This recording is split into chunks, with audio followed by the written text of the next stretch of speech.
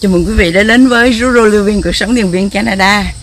À, Đây là cái dàn à, su su và bí vi cá của Thủy. À, Thủy trồng từ hồi tháng 5 Bây giờ là giữa tháng 8 thì bí vi cá đã bắt đầu có bông rồi quý vị. Đây là cái trái nhỏ quý vị thấy là rất là dễ thương và nó đầy hết.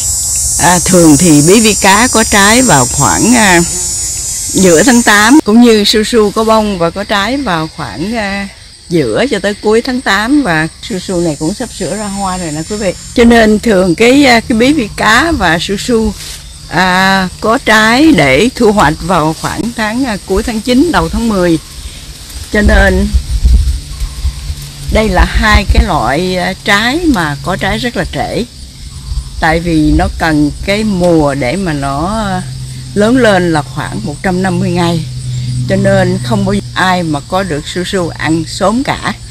Ít nhất cũng phải cuối tháng 9 đầu tháng 10 trước khi mà trời lạnh. Cho nên hy vọng là trời không có xuống dưới không độ sớm để cho những cái su su và bí vi cá này nó được à, lớn lên và à, thu hoạch. Su su và bí vi cá thì khoảng tháng 6 và tháng 7 là thủy hái đọt để mà ăn. Sau đó thì không có hái nữa tại vì khi mình hái đọt là nó sẽ đâm những cái nhánh ở bên nách ra là sẽ cho mình nhiều trái hơn. Và khi mà những cái nách nó ra nữa thì mình không có hái đọt nữa. Và để chờ khoảng tháng 8 cho nó có bông. Tháng 6 và tháng 7 là hai tháng mà thủy cắt đọt ăn. Sau đó là không có cắt nữa. Là tại vì để cho những cái à, cái nhánh mà đâm ngang nó có trái. Cho nên không có cắt đọt. Tại vì cứ cắt đọt thì à, cây nó sẽ mất sức bí vi cá đúng lý ra là cho nó bò trên mặt đất. Nhưng mà thủy cũng thí nghiệm cho nó leo lên vàng như thế nào. Nhưng mà nó leo lên vàng vẫn tốt như bình thường quý vị. Cho nên khi mà trái nằm ở trên vàng thủy thích cái vàng thấp như thế này là để nó có bông hoặc nó có trái. Thủy có thể đứng từ xa nhìn thấy nó được.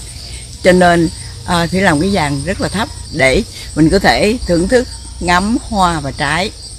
Cái vàng này của thủy nó thấp nhưng mà nó rất là dài à, thủy có thể trồng thêm nhiều thứ nữa nhưng mà năm nay thủy thí nghiệm.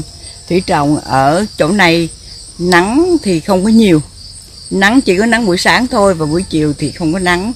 Thì à, à, su su và bí vi cá này có nắng được khoảng 6 giờ một ngày.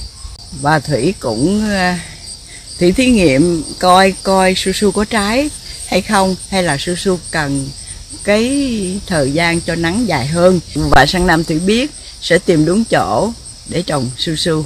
Bí vi cá thì rất là dễ tại vì cứ thả nó bò rong ở trên mặt đất là được rồi. Nhưng làm như thế này thì nó đẹp hơn và gọn gàng hơn và dễ cắt cỏ hơn.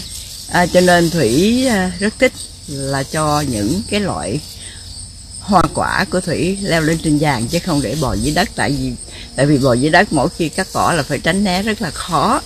Bí vi cá bây giờ là giữa tháng 8 thì bắt đầu à, ra hoa hoa cái. Hoa đực thì nó đã có từ hồi à, giữa tháng 7 rồi cho đến bây giờ là hoa cái bắt đầu. Cho nên hy vọng là trời sẽ lạnh trễ để cho mình có thể thu hoạch bí vi cá và su su. Nếu quý vị thích những cái video như thế này của Thủy thì xin quý vị ủng hộ để Thủy làm tiếp những cái tiếp theo. Xin cảm ơn quý vị và kính chào quý vị.